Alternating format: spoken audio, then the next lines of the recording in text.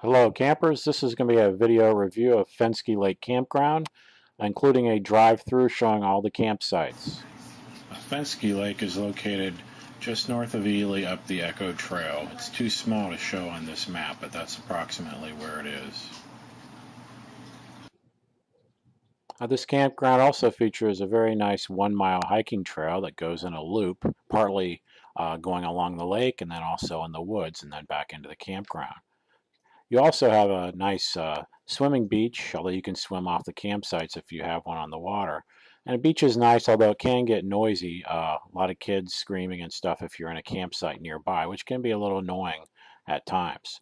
It's also a very nice lake. It's uh, not too big. It's somewhat narrow, so it doesn't get really rough, and it's very good for kayaking and canoeing.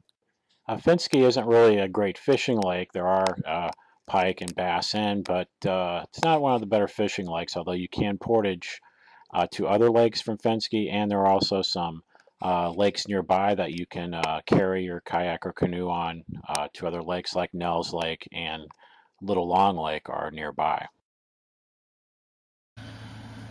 Okay, let's do a little uh, campground review here for Fenske Lake Campground here in Superior National Forest, northern Minnesota. So we're at the entrance. You know, you can uh, just show up, do a fee deposit box, but a lot of these sites are usually taken. So let's just drive. This isn't a very big campground, so we'll just do a little drive by. You can see the campsites in the loop. All right, here we go.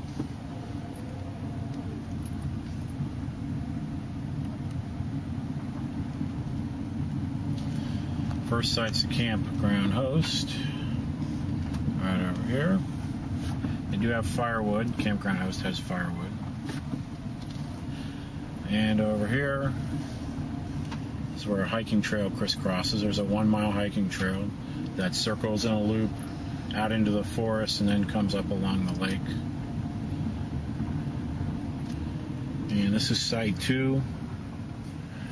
Uh, not bad for a small trailer or camper or tent, obviously. There's trash there. This is where you get water. Water thing's kind of a pain, it kind of sprays it out.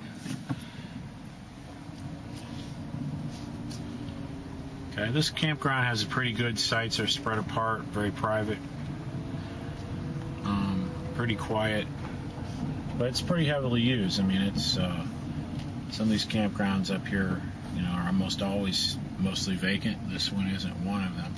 So site three, room for a pretty good size RV. So site three.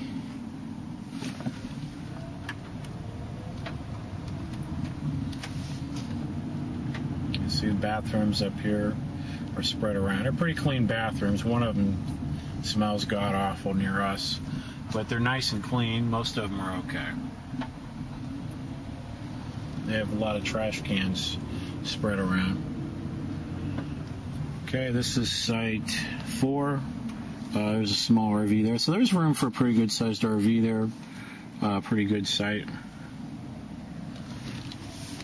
All right, now we're coming up on the right. We have sites that are on the lake.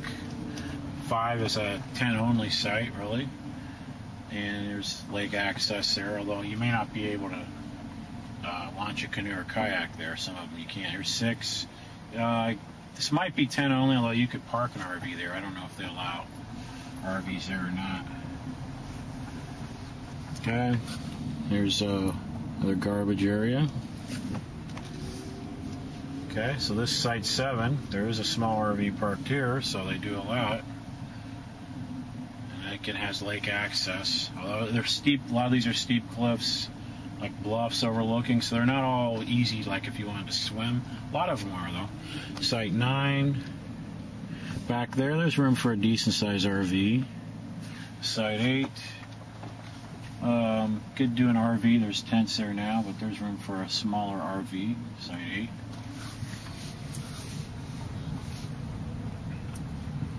Okay, another restroom. Site 10. Okay, this is a tent only site. It's a nice site for tents. Uh, you have good access to the water. I think it's got on overlooking a bluff on the lake, very pretty. Site 11, same thing. Uh, this is probably 10 only. You could fit an RV there. I don't know if they allow it, but you could fit one there.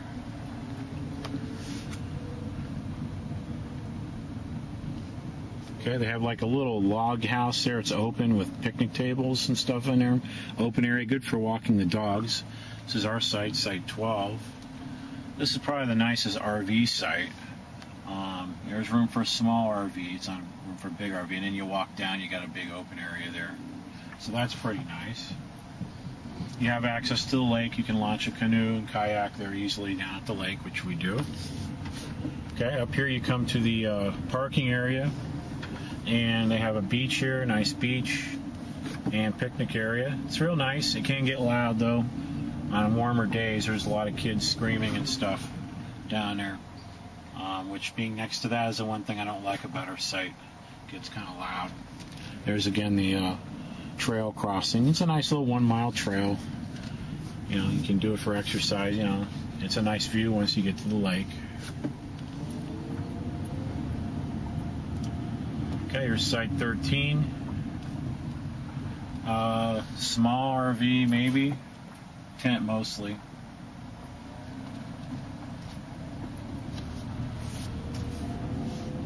And here's site 15.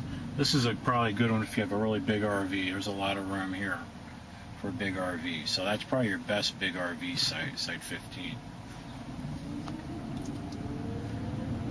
Okay, and that's all of the sites. I'll show you a little bit from the beach, of the beach area, picnic area. Okay, we're at Fenske. I'm going down the trail of, from our campsite to the water, to the lake. And you can see the lake and the beach and picnic area. And there's a little fishing pier too.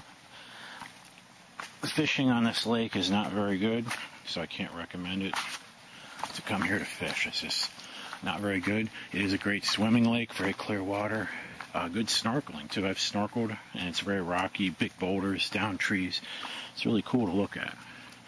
There's a lodge, Fenske Lodge, right across our cabins, right across the way. And right over there, you can see it is the beach and the swimming area.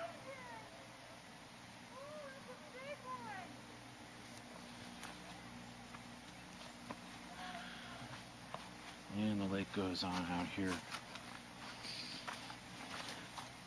So like I said, swimming and stuff is nice. You pretty area to kayak and canoe, and it does connect into some other lakes. You can portage into some other lakes from here, which have a little bit better fishing. You just consult a map, Superior National Forest, and uh, see Fenske.